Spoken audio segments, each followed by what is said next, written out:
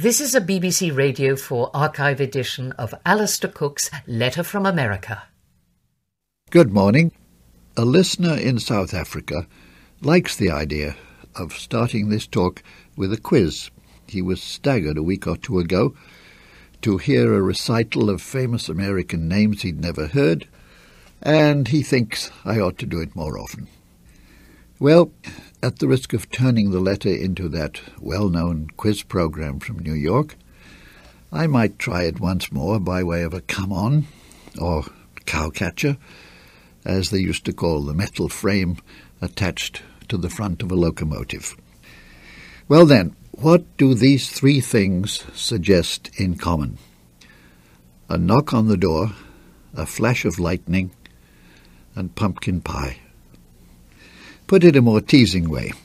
Every Sunday morning, there's a ritual in our house, as in millions of others, which is to break open the 350 page package of the Sunday paper, search through it, find the weekly television supplement, and then starting at A, going through 10 pages to Z or Z, to get a general idea of the films available to us during the coming week on the 75 channels that we can presently choose from.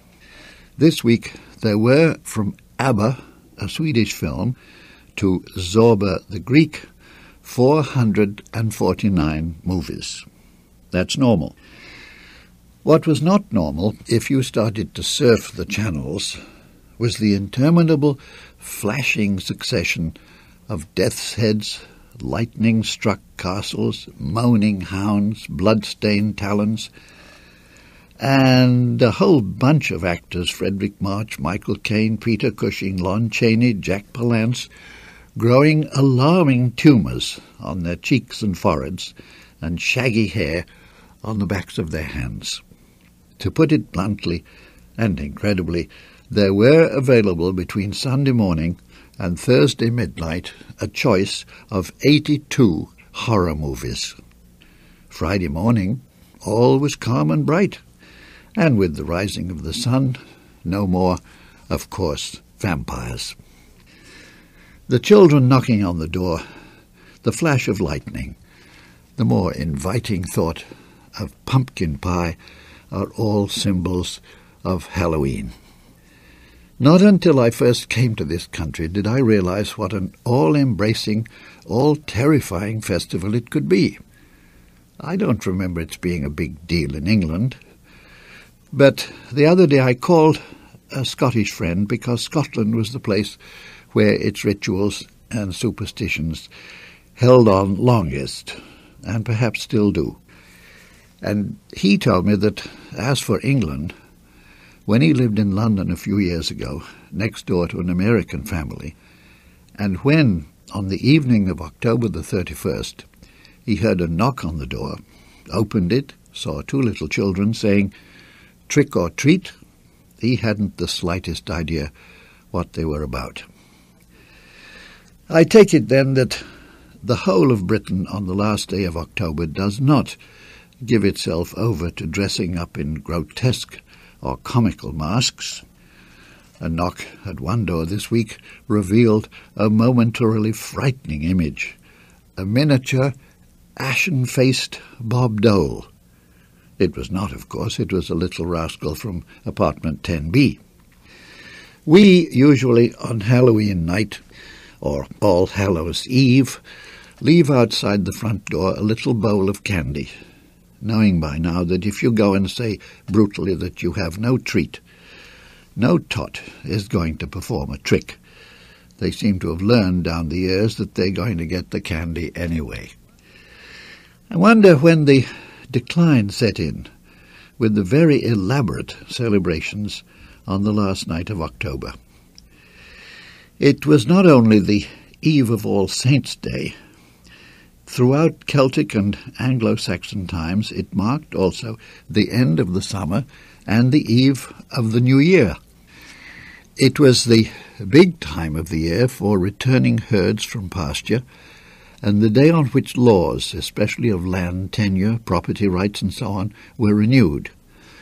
And because November had come to be thought of in what are facetiously called temperate countries as a bleak season, no sun, no birds, no warmth, November, the last night of October took on all sorts of sinister meanings. It was a time when witches, hobgoblins, ghosts, and demons roamed abroad.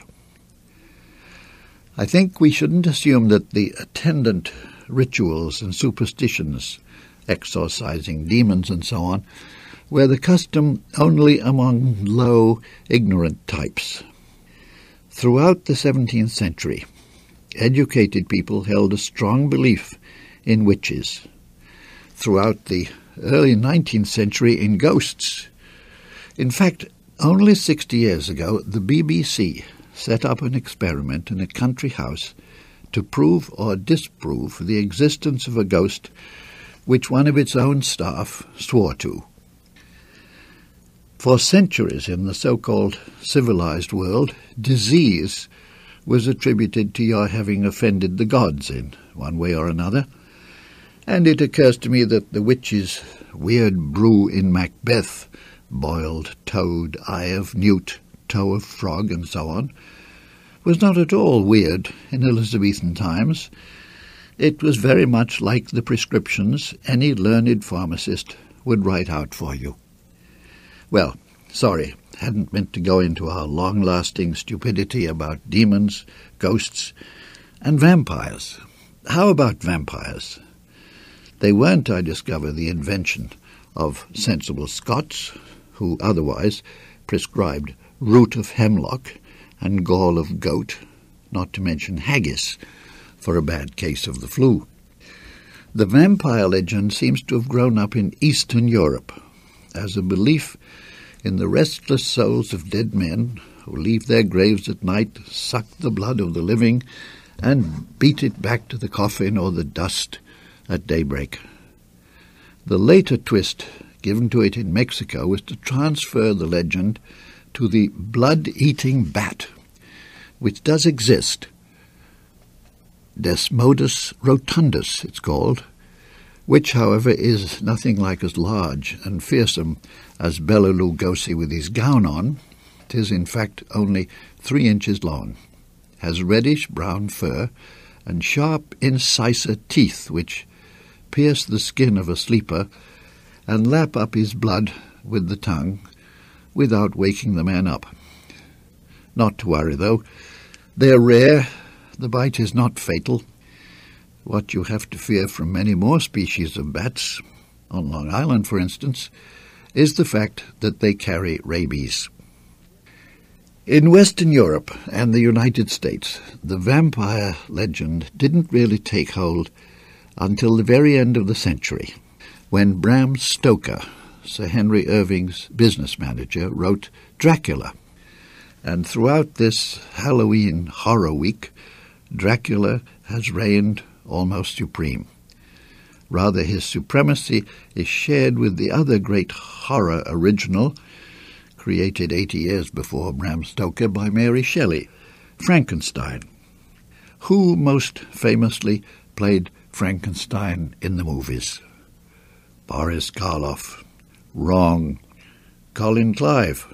Karloff was the Frankenstein monster. These two have ridden the airwaves, along with, as I say, dozens of variations, not to mention documentary profiles and biographies of Edgar Allan Poe, Conan Doyle, Stoker, Vincent Price, Wilkie Collins. Help. I don't honestly know how many of the religious, legal, and medical rituals and superstitions ever got to this country. But from the late 19th century on, it was Irish immigrants who gave a great fillip to the celebrations and shenanigans of Halloween as a secular festival, not least as yet another permissible occasion for hitting the bottle. Mark Twain noticed the Irish gift for inventing whiskey festivals and expressed his admiration for their ability to take it in a memorable passage. Give an Irishman lager for a month, and he's a dead man. An Irishman is lined with copper, and the beer corrodes it. But whisky polishes the copper and is the saving of him. Several cities in several states used to have huge all-day parades of clowns, cowboys, demons, Indians, and allow a small fry to paint their fancies on the windows of public buildings. These festivals have gone, I believe, with the wind and the telly. But what remains everywhere is the dedication of the evening to small children, to their dressing up in grotesque costumes, to going from house to house or apartment to apartment, to claim a trick or treat, and to go home to a supper which ought to end with pumpkin pie. Pumpkin is a more recent form of pumpion, known and grown and cooked since the earliest colonial days. Pumpkin farmers do a roaring business in the weeks before Halloween. The fields adjoining our village were packed lately with roaming families, picking their own pumpkins and staggering off to the car with them. Apart from the pie, their special function on Halloween night is a hollowed out pumpkin set up outside houses, in windows, halls, shops, with eyes carved out, a leering mouth, a candle stuck inside, the whole representing a jack-o'-lantern, the figure, that is, of a night watchman. Well, Halloween provided, as you might guess, a very welcome escape from the presidential campaign though it appears most minds had managed to turn off the election anyway. The conventional wisdom is that such is the general apathy or cynicism about politics and politicians that the smallest turnout in years is predicted next Tuesday. As for the campaign, Mr. Dole, having for two months made saintly efforts to be statesmanlike and affable, suddenly came to believe what many of his party chiefs quietly told him that he was positively going to lose. Mr. Dole turned angry and mean and resurrected the character that lost him the New Hampshire primary four years ago. We've been saying all along that only some shocking scandal could stop Mr. Clinton's re-election. Believe it or not, there have been shocking scandals of private life, of the scoundrelism of several of his aides, of flagrant violation of the campaign financing laws, of sexual misbehavior. Mr. Clinton's response is to have no response, to hear no evil, confess none, appear everywhere with a pink, smarmy, nodding smile, like a low-key Pompey returning in triumph to Rome. It means, I suppose, he has no doubt about the outcome, nor do any of us, in spite of, was it Mr. Micawber's warning that accidents can happen in the best regulated families. That was Letter from America with Alistair Cooke. You can find more Letters from America and thousands of other programs for curious minds on the Radio 4 website.